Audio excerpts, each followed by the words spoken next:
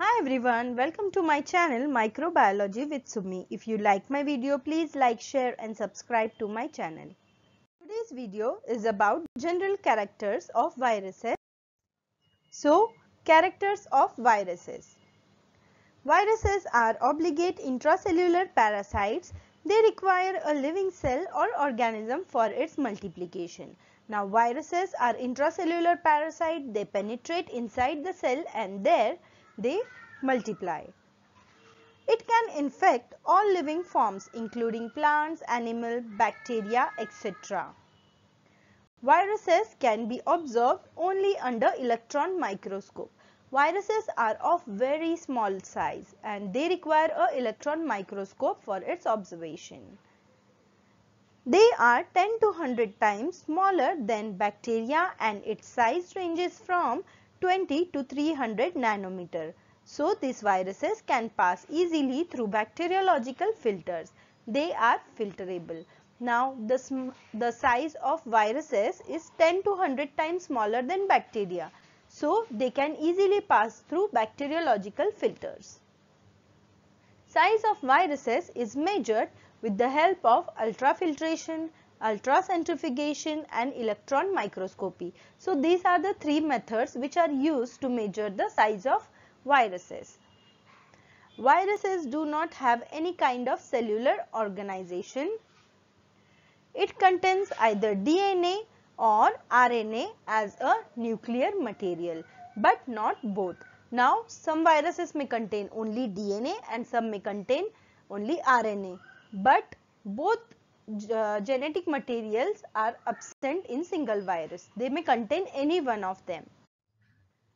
Further, as we know, viruses are an obligate intracellular parasite and lack the essential enzymes for protein and nucleic acid synthesis. So, the enzymes which are required for protein and nucleic acid synthesis are absent in viruses and these viruses depend on the host cell for its replication and multiplication. Further, viruses are unaffected by antibiotics. There are many differences between microorganisms and viruses. In spite of that, viruses are considered as microorganisms especially in the field of medical microbiology. Now, when we compare characters of microorganisms and viruses, there is a huge difference between these two. But in spite of that, viruses are considered as microorganisms, especially in the field of medical microbiology. Viruses are of great concern in the field of medical microbiology because they are responsible for various human diseases. Examples of diseases caused by viruses are rabies, AIDS, mumps, hepatitis, influenza, dengue, common cold and many more diseases are caused due to viruses. Viruses are responsible for cancer in human beings, birds and animals. So these are the diseases.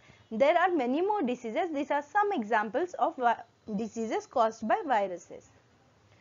Virion is an extracellular infectious particle of the virus. Virion consists essential nucleic acid which is protected by a protein coat called as a capsid.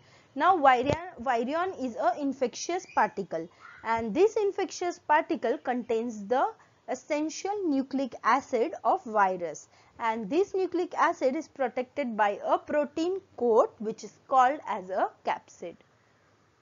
The function of capsid is to protect nucleic acid from nucleases and other environmental factors. Now the important function of this capsid is to protect the nucleic acid from nucleases and environmental factors. This capsid is made up of polypeptide molecules.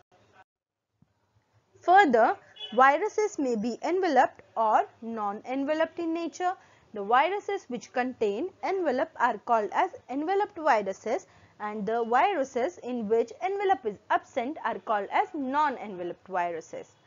Further, envelope is made up of lipoproteins and this lipoprotein is derived from the host cell membrane. So, envelope is made up of lipoproteins. These lipoproteins are present in the host cell membranes. When the virus comes out or when it causes lysis of the cell, it takes some part of that host cell membrane and forms an envelope around itself. Viruses require a living media like embryonic egg, cell culture or bacterial cell. Now obviously virus is an obligate intracellular parasite. It, it obviously requires a living cell for its multiplication. There are two types of viruses and that are DNA viruses and RNA viruses. These were some important characters of viruses. If you liked my video, please like, share and subscribe to my channel and thank you for watching this video and don't forget to comment in the comment section.